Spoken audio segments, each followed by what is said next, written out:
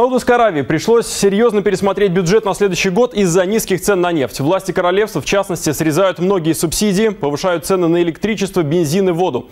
Более того, саудовцы даже подумывают о том, чтобы приватизировать ряд госпредприятий и ввести НДС. Ожидается, что бюджетные доходы страны в следующем году упадут на 15%, а расходы на 14%. Сейчас Саудовская Аравия 70% своей выручки получает за счет продажи нефти.